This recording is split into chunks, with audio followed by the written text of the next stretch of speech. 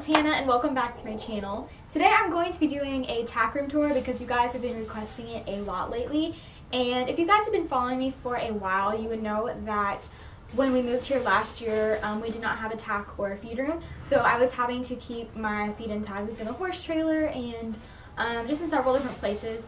Um, so I'm super, super thankful that we finally have a tack and feed room and it's not completely finished yet. Um, there are still some things that we want to do to it and everything like that, but you guys have been really wanting to see kind of what it looks like, so I'm going to go ahead and show you guys um, kind of what it looks like right now. And all of this wood, like on the outside, um, is all like recycled wood, so it's wood that we got for free and wood that we already had. Um, so we did not really have to buy anything to make the tack and feed room. So if you guys are trying to build something, try to go like online and try and um, see if anybody's giving away free wood or drive around and see if there's any like thrown out or whatever. So yeah, I hope you all enjoyed this video. Let's just get into it.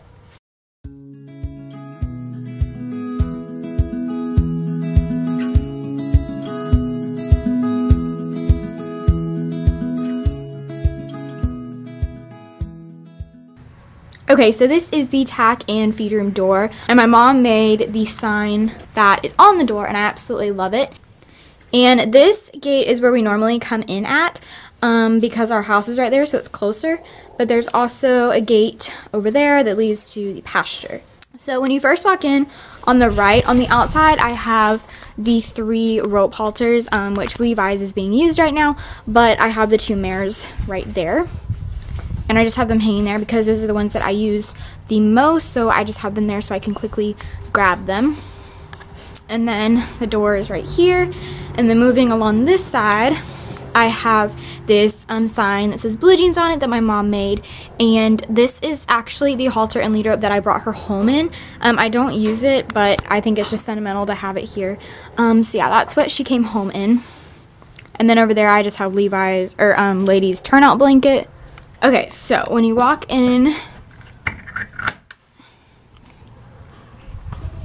okay, so when you walk in, this is what it looks like. I'm just going to give you guys a quick overview of it, and then I'll go in a little detail. Okay, so that's what it looks like.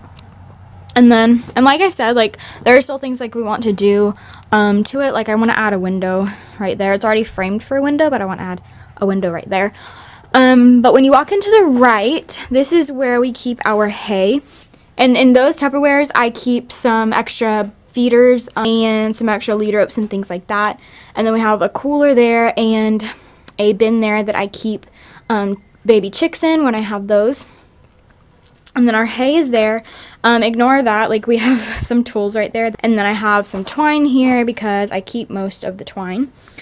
And then down here we have a nest. Um, when the birds free range, um, a couple of them lay there. And then our duck lays in that nest as well. We have um, some timothy grass. And then here I have an extra bucket and um, an extra grooming tote.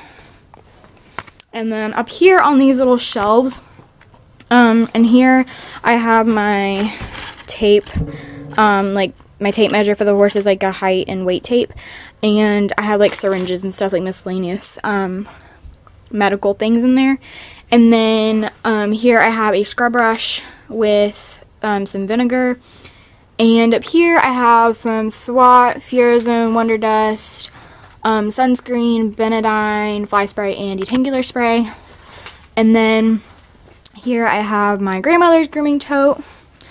And down here is um, one of the bead buckets, and that is a grooming tote that we use um, like on a daily basis. And right here in this three drawer thing, I have a majority of our grooming supplies. And then on top is kind of like seasonal um, grooming things. So I have like the metal curry combs that I use for um, shedding season, like sweat scrapers, um, gel curry comb for bathing, and like um, mane and tail shampoo and conditioner. And then in the top drawer, we have our soft brushes and body brushes, face brushes, um, and we have an extra comb. And then in the second drawer, we have our dandy brushes, like hard brushes, in there. And then in the bottom one, we have um, our facial curries, um, curry combs, gel curries, and um, hoof picks. And then moving on this way, um, this is where we keep our feed and things like that. Um, I still have to get another, um, what you call it, like trash can for this feed right here. Um, so we have beet pulp, corn, um, um, oyster shells are in there, rabbit feeds in there, chicken feed, alfalfa pellets, blue jeans, and Levi's feed and ladies feed. And there we have some diatomaceous earth that I have to put in um, the Tupperware. We just brought it out here um, right before I started filming, so I still have to put that in its um, Tupperware. Okay, so up here I have the feed scoops, um, some saddle soap. and here I have some supplements for the chickens and some mineral oil. And then um, I have the fly masks up here. There I have um, Blue Jeans Bell Boots, um, and then I have some dry erase markers for our whiteboard, but I have not hung up our whiteboard yet. That is the Tupperware that the diatomaceous earth goes in. I still have to put that in there. And then we have an extra grooming tote. In this back corner, I have some rakes and pitchforks and brooms and stuff like that. Just right here, I have some feed bags that I use as like trash cans. So those are almost full, so I have to throw those away. And then right here we have um, our saddle rack, one of the saddle racks anyway. Um, on the bottom is my grandmother's saddle and her saddle pad, and then that is my um, the first saddle that I got, um, which is the saddle that came with blue jeans. And on top I have um, an English saddle that um, one of Levi's old owners gave to me. And then here we have um, some of our English pads and cinches and girths and things. And that is Lila's English saddle. We have some extra boards here. We still have to add a board down there to match this side. Um, but these are some of the boards that we use to build the tack room with. We just have not taken them out yet.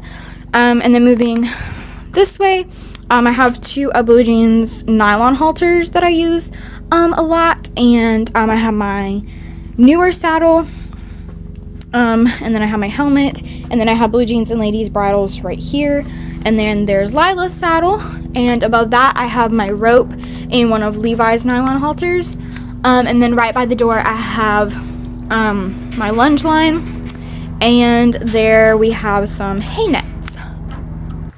So yeah, that was our tack and feed room tour. I hope you guys enjoyed, and I will see you guys in my next video. Bye!